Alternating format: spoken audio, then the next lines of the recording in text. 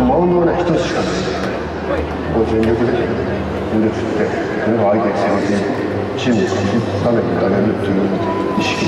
が込んでくるのは非常に大きいなまあ、あの自分自身の修行の時間だったと思ってます。しまずは自分にフォーカスしてやることがチームのためになると思ってますし自分のできることをしっかりやることが今の自分の宿命なのかなと思ってもちろんこのまま終わるとは思ってないですし簡単に終わってたまらないっていうところは誰よりも強いですゲームセットした瞬間、えーファンの人がみんな立ち上がってみんな喜んでくれてる姿っていうのは僕めちゃくちゃ嬉しくてそれをまあみんなで味わえるっていうのは気づかしくない生き生き魂を込めて試合をしっかり作る、えー長い夢が見えるその中でチームの勝利に導くってい。うところが、まあ、いいですね、必要な条件なんじゃないかと僕が与えられた場所でチームの